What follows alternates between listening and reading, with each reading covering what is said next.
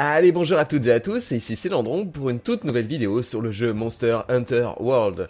Et la dernière fois je vous avais dit que j'allais attendre un peu pour vous faire la vidéo sur la chasse, parce que je pensais que les quêtes de chasse allaient être un peu plus tard. Et en fait c'était pas le cas, c'est-à-dire que la quête suivante de celle qu'on a fait dans la première vidéo, bah c'était une quête de chasse. Donc voilà, donc j'ai continué en fait, j'ai je suis allé explorer un petit peu le jeu, aller voir ce qui était possible de faire. Donc je suis à 4-5 heures de jeu, un truc comme ça, je crois, un peu plus de 4 heures. Bref, j'ai, je commence à avoir un peu de bouteille, je commence à maîtriser un petit peu le, truc, je commence à comprendre quelles sont les nouveautés, qu'est-ce qu'il y a en moins, qu'est-ce qu'il y a en plus, etc. C'est plutôt intéressant. C'est franchement intéressant. Du coup, ce que je vous propose, c'est qu'on fasse un petit tour. Donc, euh, nous revoilà dans la ville principale, comme ce que je vous avais montré dans le premier épisode. C'est là où tout se fait, c'est votre hub. Vous avez euh, un marchand, vous avez une forge, vous avez de quoi cuisiner pour pouvoir vous améliorer avant de partir en quête, etc. etc. Vous avez pas mal de choses à, faire ici, mais c'est la base de tous, les, de tous les chasseurs dans tous les Monster Hunter de toute façon. Donc, maintenant, qu'est-ce qu'il est possible de faire concernant les chasses? Eh bien déjà, vous avez... Alors attendez, on va monter là-haut. Je vais monter tout en haut. Vous avez la donneuse de quête de base. Celle qui est en fait présente dans tous les opus, la nana de la guilde qui se charge de vous filer vos quêtes. Ce, soit dit en passant, il existe plusieurs panneaux un petit peu partout sur le, le hub principal vous permettant aussi de prendre les quêtes. Ce sont les mêmes. Voilà, donc comment ça se passe au niveau des quêtes? Vous avez les quêtes missions qui sont en fait les quêtes d'histoire, celles qui appartiennent à l'histoire. Et en l'occurrence, moi je suis au, niveau de difficulté 3 étoiles, rendre chasseur 3. Et donc je dois, je donner un chasseur se trouver séparé de son escorte, retrouver et ramener à la base, en éliminant tout grand monstre qui te semble dangereux. C'est une particularité de ce Monster Hunter, on n'est plus limité à simplement euh, juste chasser un grand monstre. Une, euh, genre par exemple, la quête sous bonne escorte considérait qu'il fallait escorter des, des gens de la zone 1 que vous voyez sur la carte à la zone 8, sachant que au milieu, j'ai dû esquiver une Ratiane et euh, combattre un Barotte. Donc euh, c'est plutôt intéressant parce que ça rajoute un petit peu de dynamisme et ça change un peu des quêtes habituelles. Et je suppose que la prochaine quête d'histoire que j'ai pas encore faite, Marécage mortel, euh, ben, je dois aller retrouver quelqu'un et le ramener. Je suppose qu'il y aura un grand monstre au milieu. Un truc un peu chiant. Voilà. Après, vous avez les quêtes en mode libre, selon les niveaux de difficulté, qui sont les quêtes euh, standards en fait. C'est des trucs qu'on peut refaire à l'infini, il n'y a pas de souci. Ce sont des quêtes euh, tranquillou. Enfin, tranquillou. Pas forcément tranquillou, mais ce sont des quêtes que peuvent donner les, les PNJ dans le hub, mais qui n'appartiennent pas à l'histoire, et que vous pouvez refaire un nombre de fois que vous voulez. Simplement. Vous voyez le, le petit icône euh, blabla à gauche de cette quête, ça veut dire que je l'ai récupéré via un personnage du hub.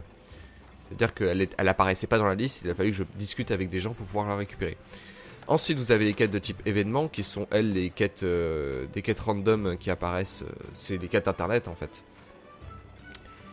Et enfin, vous avez les quêtes de type contrat.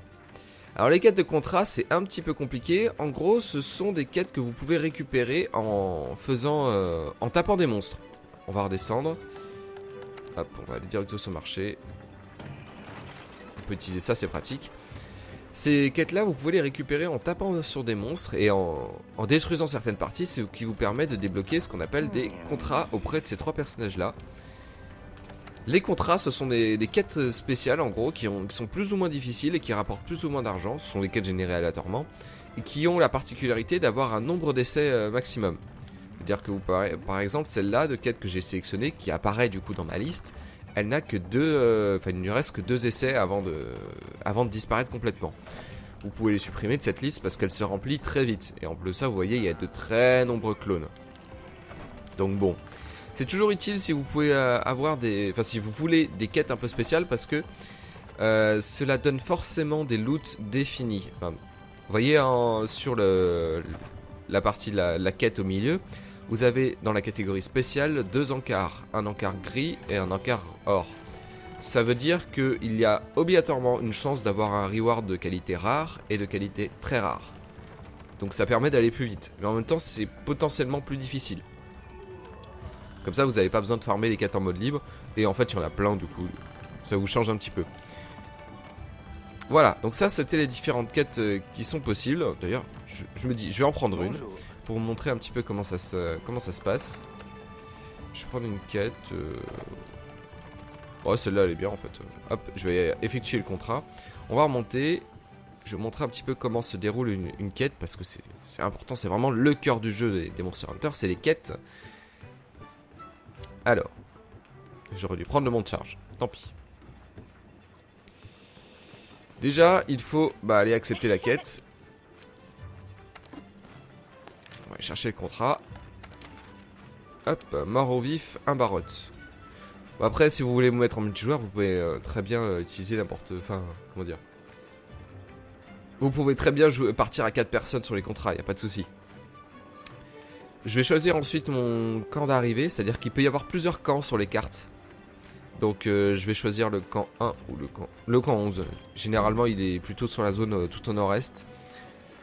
Hop, voilà. Donc là j'ai sélectionné la, quête. Je pourrais, être, je pourrais être prêt à partir, sauf qu'il faut que je bouffe d'abord pour pouvoir augmenter mes stats euh, temporairement pour la quête.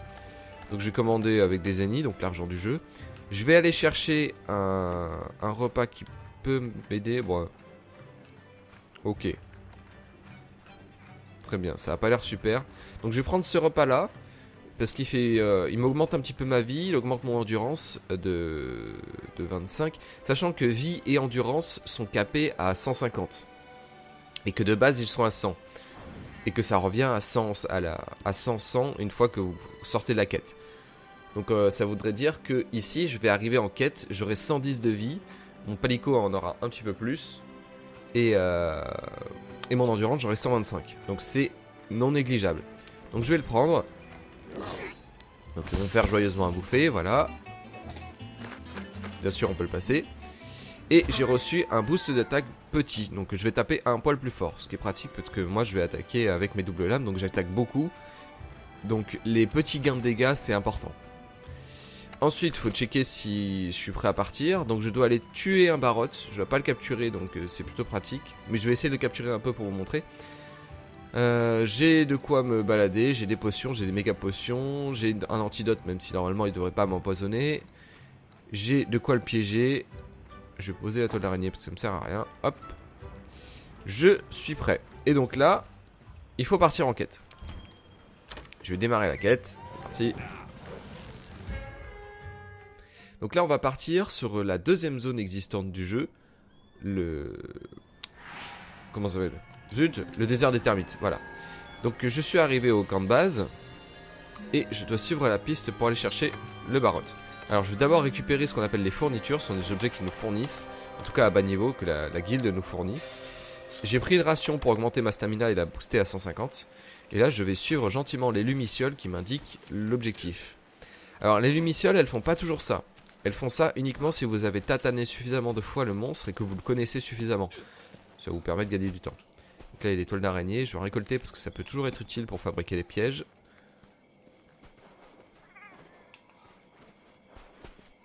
Très bien. Donc les lumicioles, elles vous permettent aussi de, de repérer les, empreintes, comme ça, ce qui vous permet en fait de les suivre.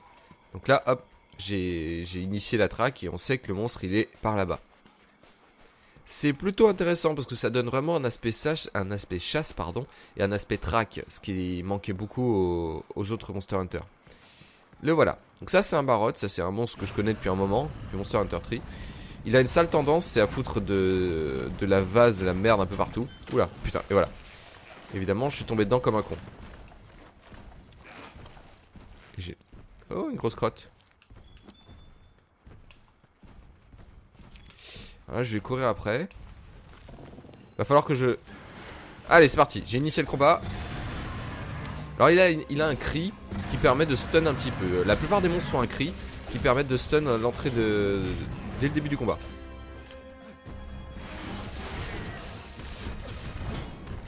Alors, c'est une wyvern de type brutal, c'est-à-dire que quand il attaque et qu'il vous touche, il vous fait genre bien mal.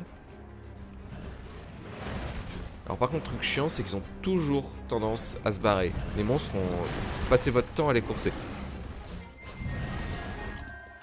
Putain, j'ai complètement mal géré parce que je pensais que j'étais en, mode démon et en fait pas du tout. Alors bien sûr, vu sa tronche, ses attaques principales, c'est essentiellement des charges. Alors attendez, hop. Donc vous voyez, j'ai détruit une partie, j'ai récupéré un nouveau contrat. Donc ça, ça arrive régulièrement. Putain, j'ai pas le temps de... Oh mais oh, qu'est-ce que je suis nul, forcément. Je les ai défoncés tous les barottes que j'ai fait. Aïe.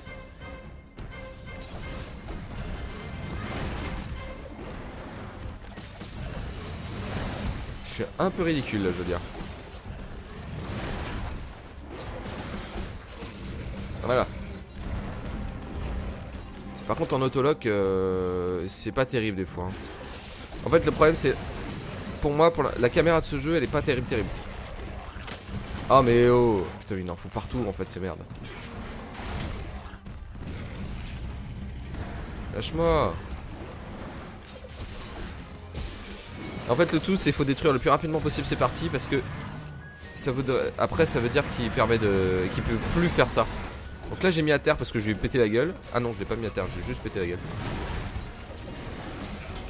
Esquive mon coco. En fait j'aimerais bien l'amener sur une autre partie de la carte où je peux lui péter la gueule parce qu'elle est, elle est en pente cette partie et, les doubles lames en pente c'est stupide. C'est surpuissant. Donc je crois qu'il y va là. Donc je vais. Donc ça c'est une autre partie un peu chiante du jeu, c'est le fait que vous passez votre temps à courir après les monstres. Alors, je vais d'abord aiguiser parce que en haut à gauche vous avez la vie et la stamina, donc l'endurance. Vous avez aussi la, la jauge de d'aiguisage de votre arme. Sachant que les, les armes ont plusieurs niveaux d'aiguisage, cela va de orange, orange, jaune, vert, euh, bleu, blanc, violet.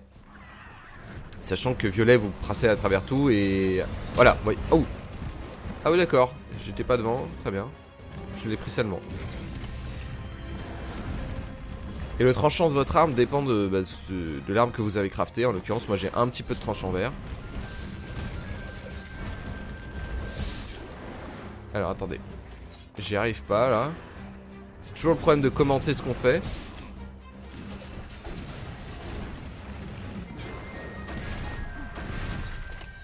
Parce que là pour l'instant, il me domine plus qu'autre chose.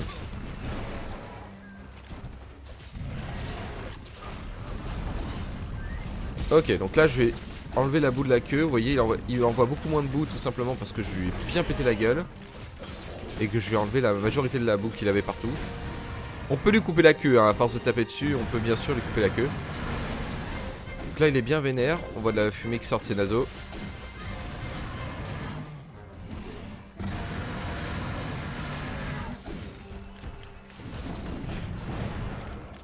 Ok, j'ai plus de stamina, il faut que j'enlève le mode démon. Waouh. Hop. Voilà, ça c'est le truc que j'aime bien, c'est que quand en fait on est en pente, les DL deviennent monstrueuses. Voilà, on peut faire des trucs comme ça, c'est débile. Et là je suis en train de lui péter la tête en fait, parce que... Il peut pas m'attaquer au-dessus. Et voilà. Hop. Je l'ai foutu à terre, mais je m'en fous. Ah non, je l'ai pas foutu à terre. Par contre, faut que j'aiguise, je suis en, je suis en jaune et je vais plus pouvoir passer.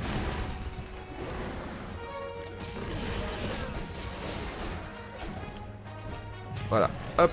Sachant qu'on peut faire des trucs cool, pas que ça en fait. Si on est au-dessus et qu'on saute euh, normalement, on doit pouvoir lui sauter dessus. Aïe, ouille. On doit pouvoir lui sauter dessus et le mettre à terre en lui tatanant le dos. On va le refaire. Aïe. Il m'a gueulé dessus. Je suis, plus assez de démons. Et merde, ma jauge est vide. Donc là, il... Ah non, j'ai cru qu'il boitait. Parce que quand il boite, ça veut dire qu'il est capturable. Il est suffisamment faible pour être capturé. Là, là, il boite. Vous voyez, il se barre en boitant. Donc il va essayer d'aller à sa zone de repos. Ce qu'on appelle la zone de repos, c'est là où il, où il va régénérer de la vie, parce qu'ils peuvent régénérer de la vie. Donc là, j'ai deux choix. Soit je le tue, ce qui est assez facile. Là, pour le coup, euh, quand il est comme ça, c'est généralement qu'il va être bientôt fini. Soit je le capture à l'aide de pièges et de bombes tranquillisantes. Ah oui, bah dans tous les cas, je sens que je vais devoir le tuer étant donné que je n'ai que un piège et pas de, de bombe tranquillisante. Donc euh, bah, j'ai l'air d'un con. Donc je vais devoir le tuer, malheureusement. Je me rends compte que j'ai pas de bombe tranq. Toujours partir avec de quoi crafter des pièges et des bombes tranquillisantes. Ah Il y a un... Il y a un coup de Koulou... euh, Je crois que c'est ça. Koulou Yaku. Kuto Yaku, je sais plus comment il s'appelle. il y a un autre monstre. Ça c'est aussi un truc très important, c'est que contrairement aux anciens, Monster Hunter, l'écosystème est très important. Oula, je vais me le prendre. L'écosystème est très très important, c'est-à-dire que vous pouvez vraiment avoir des interactions entre les monstres et il y en a tout le temps. Il n'y a jamais le même, enfin, que votre monstre sur la carte. Je pense que j'arriverai pas à lui casser la queue. Euh...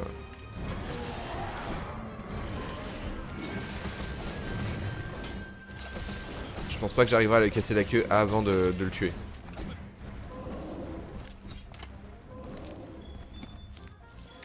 Hop, il laisse des objets que quand je lui casse.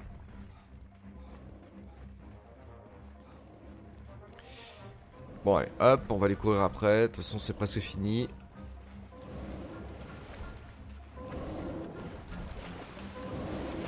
Donc là, en fait, ce qu'il va faire, c'est qu'il va essayer de se foutre dans la boue pour pouvoir euh, régénérer sa, boue autour de lui que je l'ai toute cassée. Parce que clairement, je lui ai pété la gueule là mais aussi pour euh, se reposer et gagner de la vie. Donc là, il va se foutre dans le marais, là. Donc ils ont des comportements qui sont, qui sont très animaux. Hein. C'est ça qui est cool.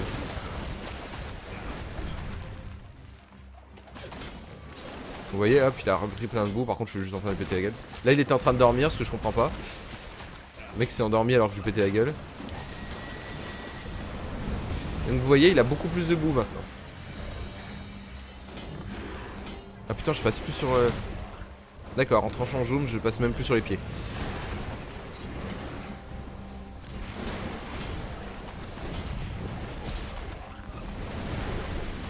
Le seul moyen... Ah là Le seul moyen de pouvoir passer sans rebondir, c'est de passer en démon.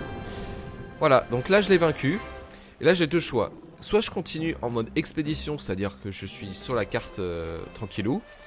Soit je rentre au, camp ou, au grand pont qui est l'endroit où vous pouvez faire du multi. Moi je vais rentrer au camp. Mais vous pouvez, rester, sur la carte pour continuer à explorer en retournant au camp. Et vous pouvez même repartir sur une quête du camp. Euh, comme si vous euh, repartiez du campement principal. je vais vous montrer un petit peu après comment ça fonctionne. Donc comme vous avez pu le constater, c'est pas très très compliqué. Mais après le barrage, je le connais, c'est-à-dire que c'est un monstre qui est depuis Monster Hunter 3. Donc ça fait un moment. Ça fait un moment, et honnêtement, euh, un peu facile quoi. J'ai un peu pris quelques coups, mais j'ai à peine eu besoin d'utiliser potion. J'ai réussi à le faire sans, en me concentrant un peu plus, parce que forcément quand je parle c'est un peu plus difficile de me concentrer. Euh, en me concentrant un peu plus, je peux le faire en un peu, un peu moins de 8 minutes un peu moins de 8 minutes euh, au double lame avec ces doubles lames là qui sont des, DL standards. Donc après bien sûr il y a les récompenses, qu'est-ce que ça a donné, euh, qu'est-ce que la quête a donné. Et si vous cassez des éléments vous avez plus de chances d'en récupérer. Là j'ai récupéré une cubarotte cool. Donc vous voyez je l'ai mis en 9 minutes, bon c'est pas mal. Toc. Tout prendre. Quelques stats en plus. Donc vous avez pu le constater. En solo, ça n'a rien très très compliqué, en tout cas sur les monstres de bas rang, parce qu'il y a presque des monstres de plus haut rang. Donc déjà, il faut continuer le mode histoire. Donc je crois qu'il y a 5 étoiles. Donc ça veut dire 5 niveaux de, de, monstres euh, en mode standard. Puis après, il y a le mode, ce qu'on appelle plus, qui est le mode euh, plus difficile, ou en tout cas les monstres deviennent plus compliqués, il y, a des, color swaps, etc. Ça commence à être un peu plus coriace. Là, c'est le début du jeu, c'est le quatrième grand monstre, donc ça va. Je vais montrer un petit peu le bestiaire. Le bestiaire, en fait. Enfin, ça, c'est la dracologie, c'est même pas le bestiaire, c'est les connaissances qu'on a sur le, les monstres. Par exemple, le, le grand jagrage, j'ai en connaissance de niveau 2, donc ça me permet d'avoir des matériaux rares et des points bonus quand je les chasse. Et en niveau de naviciole, je suis au niveau 1, c'est-à-dire que les navicioles m'indiquent le prochain écofact pour le suivre. Le barot, par exemple, je suis presque au niveau 2, c'est-à-dire que mes navicioles, elles, vont indiquer la position du monstre directement, c'est-à-dire qu'elles me, diront là où il est. Et euh, après, quand ce sera au niveau 3, à force de lui péter la gueule, eh ben, les navicioles m'indiqueront la position et les informations sur la carte. Ça permet de simplifier et en même temps c'est assez logique. C'est-à-dire que vous connaissez de plus en plus ce monstre à force de le battre. Donc c'est intéressant. La manière dont c'est fait, en tout cas, est très intéressante. Bref, donc voilà pour la, partie écho. Et qu'est-ce que je voulais montrer? Ah oui, c'est vrai, les expéditions. Alors, les expéditions, comment cela fonctionne? Vous pouvez passer sur la carte du monde. Vous voyez les différents endroits où on, est. Donc, vous avez la forêt ancienne que vous avez vu dans l'épisode précédent. Mais aussi le désert des termites. Alors, le désert des termites, c'est là où on était. Je suppose qu'il doit y avoir un endroit gelé et un endroit volcanique. Classico-classique, j'ai envie de dire. On change pas. Euh, c'est toujours comme ça d'ailleurs dans les, dans les Monster Hunter. Il doit y avoir un endroit gelé, un endroit de volcanique, un endroit d'ailleurs avec la flotte, genre le, récif de corail, je suppose que c'est par là ou un truc comme ça. Je l'avais vu euh, cet environnement. Voilà. Et donc, ce que vous pouvez faire, c'est que vous pouvez aller directement dans la forêt, euh, par exemple dans la forêt ancienne, on va aller au, au campement. campement de la zone 1. Donc on peut y aller, tout simplement. Donc voilà, vous êtes au campement. Donc dans ce campement, ben, vous, avez, vous avez de quoi faire cuire votre viande, vous avez de quoi cuisiner. En fait, vous avez la, la cantine tout simplement. La cantine que vous avez au, camp, au camp de base, vous l'avez. Et vous pouvez aussi prendre des quêtes. Vous pouvez aussi prendre des quêtes et donc du coup ne jamais avoir à rentrer. Et c'est ça qui est cool, c'est-à-dire que vous pouvez vous dire, bon alors, j'ai 4, 4 ou 5 contrats dans la zone, on va pas se faire chier, je vais tous directement les faire, euh, directement les faire ici. Donc ce que vous faites, c'est qu'à chaque fois que vous allez prendre une quête, vous revenez ici, vous passez un coup à la cantine pour vous préparer pour la prochaine mission. Puis après, vous parlez à la nana et vous récupérez une quête et c'est parti. Voilà, c'est super utile. Parce que ça permet d'éviter de faire des allers-retours en ville. Et finalement, vous ne revenez qu'en ville qu'une fois que vous avez envie de mettre à jour votre compendium des, des monstres, c'est-à-dire tout ce que vous connaissez sur les monstres, mais aussi vous avez envie de, de crafter de nouvelles armures, etc. D'ailleurs, je précise, j'ai toujours l'armure de base que je n'ai toujours pas encore améliorée. Euh, hop, hop. Je vais le voir où? Équipement. Voilà, je suis vraiment sur l'armure standard, c'est-à-dire que là je commence à vraiment prendre cher et je suis en train de réfléchir à quelle, quelle armure prendre. Parce que je suis à juste 10 de défense. 11, je crois. Je crois que je suis à 11 de défense au total. Ouais, c'est ça. Je suis à 11 de défense et honnêtement, la Ratian, elle me défonce la gueule.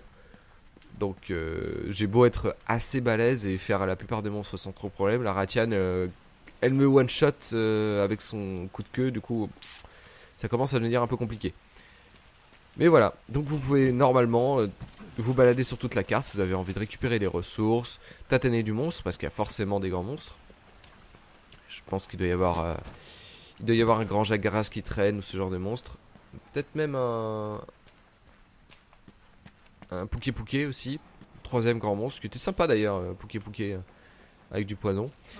Et ça vous permet aussi d'apprécier un petit peu les environnements parce que, clairement, ils sont plutôt cool. Ils sont franchement cool, euh, c'est des, très jolis environnements. Alors après, par contre, faut éviter de regarder les textures. Textures, c'est des textures 720p dégueulasses. Mais quand on regarde un petit peu comme ça, là, vous voyez là, c'est quand même. Euh, waouh! Ça change énormément des anciens Monster Hunter en fait, c'est surtout ça. C'est pas si joli que ça si on euh, compare à d'autres euh, à d'autres jeux qui sortent actuellement. Genre, je pense à God of War ou des trucs comme ça. Oula. Un Ratalos? Genre? Oh, c'est trop bien Donc le Ratalos, c'est le, monstre emblématique du jeu. Hein de tous les Monster Hunter. C'est-à-dire qu'il peut pas y avoir un, jeu sans Ratian ni Ratalos. Par contre, le fait que je tombe dessus alors que je suis même pas encore aux 4 étoiles, euh, waouh.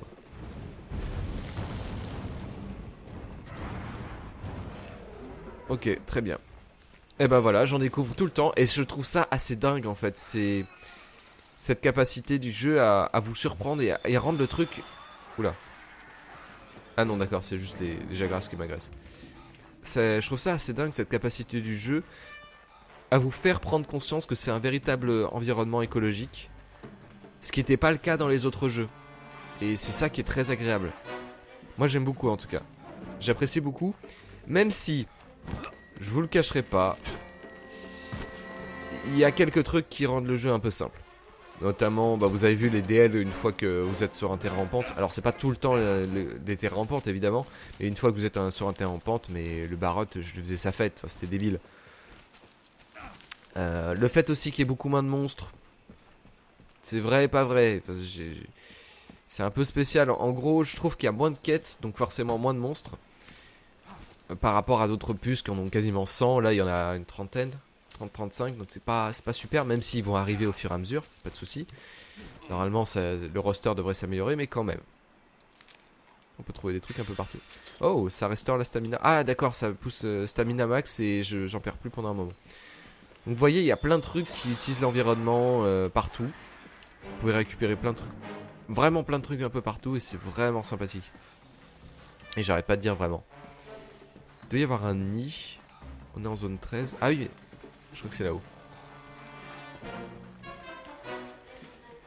Mais voilà, c'est vraiment, je trouve que Monster Hunter World, ils ont réussi à rendre la chasse euh, comme étant de la vraie chasse, moins comme un truc où tu tatanes en permanence les monstres. C'est toujours le cas, bien sûr, mais euh, c'est moins stupide en fait, euh, moins des zones plates sans véritable écosystème où tu ne fais que farmer, farmer des monstres. C'est plus intelligent et c'est plus, c'est plus vivant. Par contre, forcément, comme c'est beaucoup moins des zones plates où le skill compte uniquement, eh ben, je trouve qu'ils ont un peu affaibli les bestioles. Ils ont affaibli les bestioles pour justement éviter qu'on se fasse tataner la gueule parce que l'environnement il joue contre nous. Il est en pente, il y a des lianes de partout, enfin tu peux te bloquer dans certains endroits. Bref, l'environnement il n'est pas du tout fait pour que qu'on se batte efficacement. Du coup, pour pallier à ça, ils ont simplifié un petit peu les combats. Ils les ont rendus un petit. Enfin, pour moi, je trouve qu'ils les ont rendus un peu simples parce que là, euh, je roule un peu sur les bestioles. J'arrive à un cap avec la Ratiane, mais même la Ratiane, en fait, j'ai pas encore la quête pour la battre. J'essaye de la faire en expédition. Donc, euh, si ça se trouve, elle sera plus simple en quête. J'en sais rien. Mais bref. Néanmoins, je trouve ça vraiment quand même très intéressant. Particulièrement réussi au niveau euh, graphique et environnement. Moins au niveau contenu. Mais ils ont dit que c'était pas le premier Monster Hunter à sortir sur... Enfin, c'était pas le dernier Monster Hunter à sortir sur PC, qu'il va y avoir des améliorations. Donc je pense que ça va, ça va aller dans le bon sens en tous les cas. Regardez cet insecte et tout, je crois que c'est un foudre insecte qui se balade. je crois que c'est un Remobra ça. Donc c'est vraiment intéressant. On, voit les environnements sont cool. Je peux même sauter d'ici. je trouve ça vraiment vraiment sympa et c'est super agréable. Voilà. Bref, c'est tout ce que j'avais à dire pour les quêtes et les environnements. Donc euh, vraiment, c'est sympathique. Ma conclusion, c'est ça. C'est vraiment, c'est très sympa.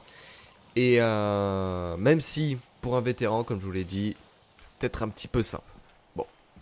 Mais n'empêche que c'est sympa. Et je vais continuer à jouer. Dans le prochain épisode, je pense qu'on va parler un petit peu des aspects techniques type arme et armure. Et après, je pense qu'on partira sur du multi. Parce que j'ai quelqu'un de prêt, j'ai quelqu'un de ready pour jouer avec moi. Ça va être cool. Ça va être très cool. Et je vais aussi essayer de vous montrer un petit peu les autres armes, genre euh, Morpho H et tout. Je vais les tester déjà, parce que là pour l'instant j'ai fait genre une douzaine de quêtes euh, uniquement. En... Oula, Ratalou c'est là. Ah, vous voyez, griffes et tout. Pour se faire les griffes. Oh, c'est génial. Oh, c'est super sympa. Donc je disais, oui, j'ai quelqu'un de prêt pour faire des quêtes en multi et euh, je vais tester un petit peu les autres armes type fusil arbalète ou morpho H. Même si pour l'instant les doubles lames, très appréciables. Très très appréciables. À ceci près que ils ont inversé deux attaques, euh, enfin en tout cas deux touches et deux attaques par rapport aux anciens opus. Donc j'ai mis du temps à m'y faire. Appuyé tout le temps sur les mauvais boutons, forcément. Bref, dans tous les cas, j'espère que cette vidéo vous aura plu, qu'elle vous aura un petit peu montré ce que c'était que le cœur des Monster Hunter. Et que voilà, et j'arrive jamais à faire mes outros. Dans tous les cas aussi, n'hésitez pas à passer sur Utip si vous avez envie de me soutenir dans mon activité. Et quant à moi, je vous retrouve dans quelques jours pour une nouvelle vidéo. Salut tout le monde, portez-vous bien